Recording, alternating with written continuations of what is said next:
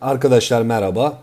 Konusu montaj ve kurgu mantığı olan bir diğer ders videomuzla karşınızdayım. Bugün sizlere montaj mantığını anlatmaya çalışacağım.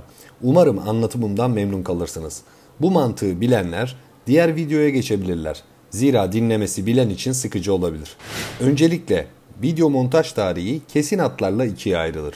Analog dönem ve dijital dönem olarak. Artık analog montaj %99 ölçüsünde bittiği için çok kısa olarak analog montajdan bahsedip hemen dijital montaj evrenine geçeceğiz. Analog dönemde şimdiki kamera hafıza kartlarının yerine film bantları vardı. Aynı eski fotoğraf makinelerinin filmleri gibi. Çekimler bu filmlerde yer alır, sonra bu filmler banyo ettirilir ve istenmeyen sahneler araçlar kullanılarak elle kesilip atılarak istenen sahneler birbirine elle yapıştırılıp montajı sağlanırdı. Montaj aşaması da biten bu filmler bir projeksiyon cihazından perdeye yansıtılırdı. İşte bu noktadaki temel prensip film montaj mantığının temelini oluşturur ve halen geçerlidir. Film karelerinde aslında resimler basılıdır. Bu resimler saniyede 24 kare hızında projeksiyon cihazının önündeki iki mercekten geçtiğinde film yüzeyinde basılı kareler hareketli görüntülere dönüşür. Temel prensip budur.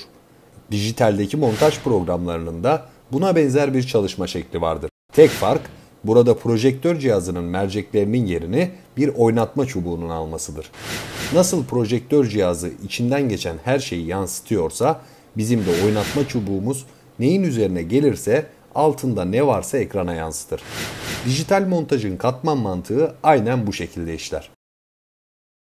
Bir görüntüye yazı mı ekleyeceğiz? O zaman bu yazıyı görüntünün üzerine konumlandırmamız gerekli. Çünkü oynatma çubuğu altından geçen şeyleri eş zamanlı olarak ekrana yansıtır.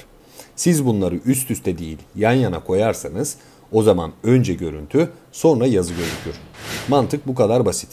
Videomuzu beğenmeyi ve kanala abone olmayı ihmal etmeyin. Diğer dersimizde Edius programının arayüzünü tanıyacağız. Hoşçakalın.